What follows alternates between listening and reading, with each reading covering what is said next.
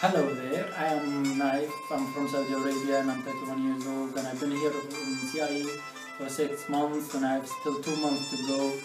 I like this uh, place and I like uh, the green garden and I like everything. They have a lot of activities and they have a lot of uh, games to do in every weekend and a lot of uh, a lot of trips too. So I would advise any, anyone who wants to learn English just choose CIE